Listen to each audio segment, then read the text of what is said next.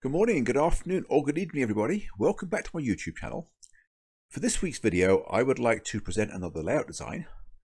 This one was actually finished some time ago, but I did not have any means of recording it because my computer microphone packed up altogether, and it's taken me a while to get one that works. The first microphone I bought was dead on arrival, and this one I have struggled to get it set up so that it actually makes a positive difference.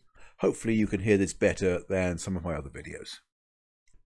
Anyway, this layout design is for a fairly good sized attic room. It is approximately 39 feet by almost 14. The knee walls along the sides, from memory I think are 50 inches high. There's three dormer windows in the north wall, a larger one in the centre and two smaller ones either side. There's also another window in the end wall and entry is via a door in the opposite end. Now the client wanted a three rail O-scale layout and he wanted to run decent length trains and good size curves and he wanted to leave enough space in the room for a couch as well. I initially came up with two basic footprints and around the walls with the peninsula and just wider bench work with more open space in the middle and no peninsula. At this point, just basically seeing how wide the room was and what would fit without cramping. And I felt that the plan without the peninsula was better. It also means that operators are walking in the highest part of the room instead of towards the sides where there's lower headroom. Here is a basic twice round continuous loop showing a couch on one side and possible location for an engine terminal on the other. Here is an alternative variation of the twice round, bringing one side forward with a narrow access aisle behind it, allowing the second loop to duck around behind it for a good sized staging yard. And also I have shortened the loop slightly to make way for a larger couch and engine terminal. And I've shown how a swing gate might be usable on such a plan. Now the client did not particularly like just having a single loop. He preferred a double track main line so that he can run two trains simultaneously. And he was hoping for a folded dog bone layout in order to maximize the run. Now that is going to mean reducing the curve radius somewhat. Here I'm showing the approximate length of a 10 car train with a large locomotive, which is what he wanted to run. The red circles represent six foot diameter curves. And I'm not sure what the radius of the green one is. I think that was just working out what's the largest that would fit. The six foot curves are drawn in because the client has some locomotives that require that as an absolute minimum. And obviously on a double track, the outer curve needs to be bigger and I was just seeing how much tolerance, how much leeway there was here.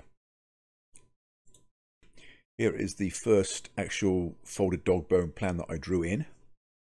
I've tried to find room for a decent sized staging yard hidden behind the scenic area.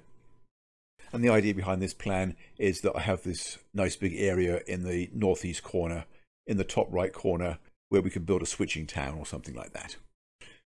Now, when the client saw this, he asked if the staging yard could be brought out into the open and made into a visible yard. So that's what I drew next. You've probably noticed the notation, the, town of Stevenson. The client did have some very specific ideas as to what he wanted to model in the way of a town. I will get to that later. And this plan tries to make use of the central area to incorporate a good sized visible yard even though it's not really going to be laid out much like a prototype yard, it's just going to be visible staging. And we still have the option for a switching district in the top right corner. Here is a completely different idea. Taking the same basic facilities, but instead of having the staging yard on the continuous loop, it is now on a branch line accessible via a Y. Now it may not look like a Y, but if we take the three corners, one here, one there, and one there, it's basically just folded.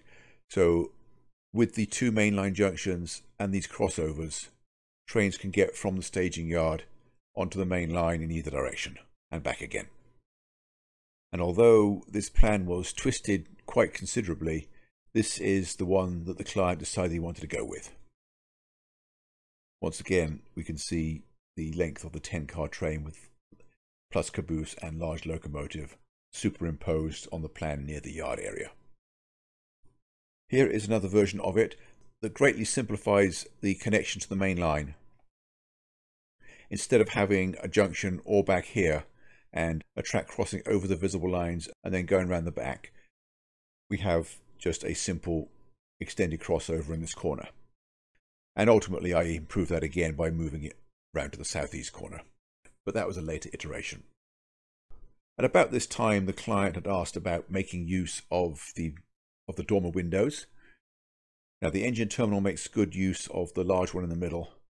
For this alcove, I'm suggesting that we put city buildings over and behind the track, making the staging yard look a lot more like a cramped city yard. Although there doesn't seem to be any worthwhile way of using the other one. Another idea that I suggested in this plan was splitting the town of Stevens, leaving the basic non-rail served structures inside the turnback curve and moving the industrial spur with its tractor dealer to a different part of the railroad where there was a lot more room for it. And although it does introduce some compromises, we did both feel that it did actually improve the overall accuracy of, of what he was trying to represent. This one attempts to bring the tractor dealer back into the town and use the longer spur for a different industry, but it really didn't work very well. So we ended up going back to the other plan. Note how the road is on a grade, so we have a grade crossing over one side and an overbridge over the other. There was a grade crossing on the prototype, but there was only one, so we didn't really want to have the road cross the same track twice. And also it was on quite a steep hill, so this version wins twice. This plan is showing the two halves of the town so in a little bit more detail, showing the approximate locations of the buildings. And the area around the tractor dealer is now approaching the proportions of the prototype. It has a very interesting arrangement with a stream in a culvert under one of the buildings. And although the benchwork is not wide enough here to include the whole building, there is a good opportunity for a half structure with the interior open to the aisle. Also, you may have noticed in the last couple of plans, I've incorporated some running loops on the main line, so a second staging area, allowing a lot more flexibility of running. There can be four trains out on the main line instead of just two, and the client can alternate them whenever he wants to. And also on this plan, although the original connection is still in, I've shown the alternative crossover, which actually improves the grade somewhat and makes this area in the corner a lot easier to scenic. Now we talked about the possibility of a small dock area. It was never intended to be a switching location. And with the track range that the client wanted to use, there are no curved turnouts available. So we're not going to be able to hook up a spur in this area without using a substandard radius curve on the main line. As drawn, the plan exclusively uses their largest radius of turnout, which is 100 inches. Sorry, it's an O100 curve, so 50 inch radius. But the client liked the idea of an abandoned spur, adding a lot of extra interest. He's not big into operation anyway. So two industrial spurs and the terminal style staging yard is plenty of switching for him. Now here is that same plan with the scenic suggestions drawn in Note that I've now removed that extra connection. It's no longer needed. And I've shown how we can have a river running along the front edge because trains running alongside water are excellent photographic spots, particularly when one only models one bank of the river so that the other bank does not get in the way of the photo. So there are now three separate water features on the railroad, something which the client really liked. Now with these holding loops along the back, I felt that it was best not to have a backdrop along the central area. Instead, there's just a continuous tree line you know, hiding the opening, but still allowing partial visibility of trains in these loops, depending on one's viewing angle. And here is a view with the suggested elevations drawn in. So anyway, 42 inches is the low elevation at the low level staging and a good portion of the continuous run. It comes up to 44 inches along this side. Briefly drops back down to 43 to reduce the grade on the road. Then comes back up to 44 for this junction.